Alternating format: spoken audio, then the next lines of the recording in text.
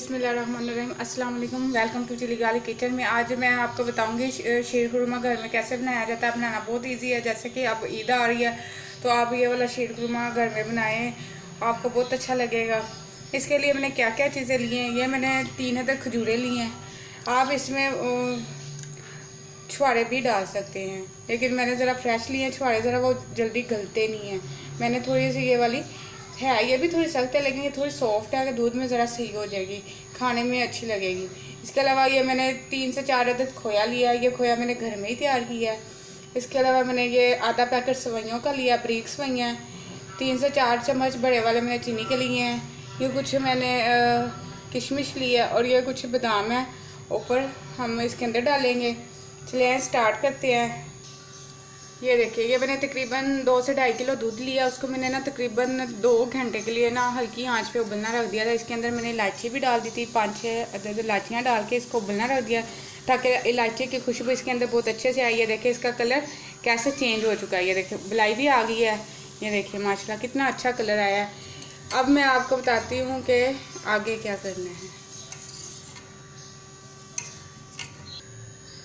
ये देखिए, ये मैंने एक कढ़ाई लिया कढ़ाई के अंदर मैंने ना एक चम्मच ऑयल डाला। बिल्कुल ज़रा सा इतना ज़्यादा हमने इसमें ऑयल आप इसमें मक्खन भी डाल सकते हैं एक चम्मच, आप इसमें देसी घी का भी इस्तेमाल कर सकते हैं। लेकिन यहाँ मैं थोड़ा सा एक छोटा चम्मच ऑयल का इस्तेमाल कर रही हूँ। अब मैंने इसके अंदर ये सवैयाँ ये सवैयाँ डाल के इसको हल्का सा फ्राई करती हूँ। तो हम हल्का सा फ्राई करते हैं। बहुत ज़्यादा भी फ्राई नहीं करना, क्योंकि सवैयों का कलर माशाल्लाह पहले बहुत अच्छा है। बस हल्का सा हम इसके अंदर करेंगे एक से दो मिनट के लिए। ये देखिए, ये कितने अच्छे से फ्राई होगी अब इसके अंदर मैं ये खजूरें डालूँगी ताकि ये भी साथ हल्के से फ्राई हो जाए।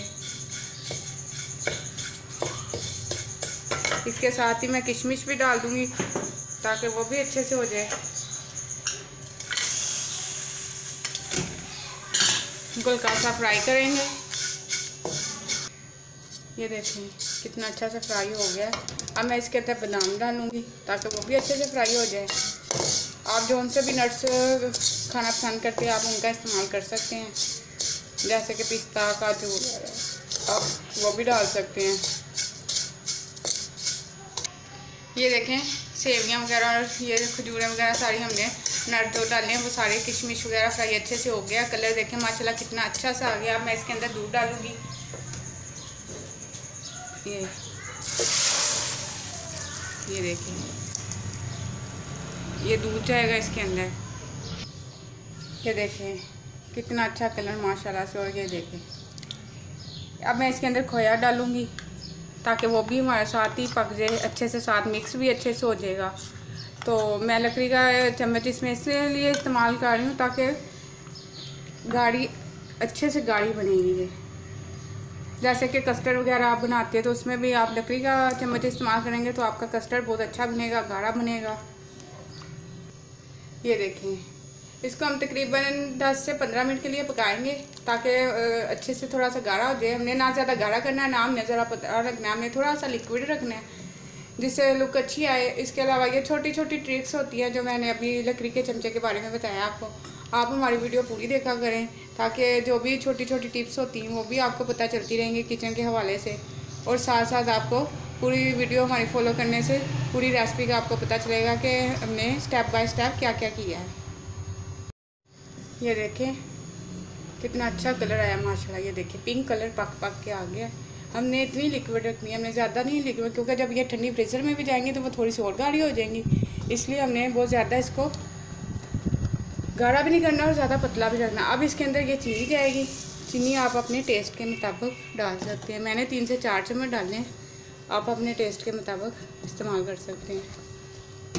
ये देखिए इसको मैं एक से दो मिनट के लिए चीनी को मिक्स करती हूँ, अच्छे से चमचा चलाती हूँ इसके अंदर ताकि चीनी अच्छे से मिक्स हो जाए। तो ये शीर खुरमा हमारा तैयार है। आप घर में लाजमी, अब जैसे कि ईद है आगे तो आप ये लाजमी ईद पे बनाएँ। और अपना फीडबैक हमें लाजमी दिया करें। हमें बहुत खुशी होगी। अगर आप चाहते हैं कि हमारे छोटे से चैनल को अगर आप बड़ा करना चाहते हैं कि हम और इस तरह की अच्छी अच्छी वीडियोस लेके आए तो आप हमारे चैनल को चैनल को प्रमोट करें। जितना प्रमोट करेंगे, हम उतनी अच्छी अच्छी वीडियोस आपके लिए लेके आएँगे और सबसे इजी इजी आसान आसान बहुत ज़्यादा मुश्किल नहीं कि पकाने वो चीज़ें, ये वो चीज़ें लाएँ, ये करें। जो घर में चीज़ें होंगी, उसी में से आप एक अच्छी सी रेसिपी तैयार हो जाएगी और जो खाएगा वो सारे पसंद भी करेंगे। ये देखिए, चीनी हमारी अच्छे से मिक्स हो चुकी है इसके अंदर। अब मैं चूल्हा बंद कर देती हूँ और आपको मैं फ़ाइनल लुक दिखाती हूँ।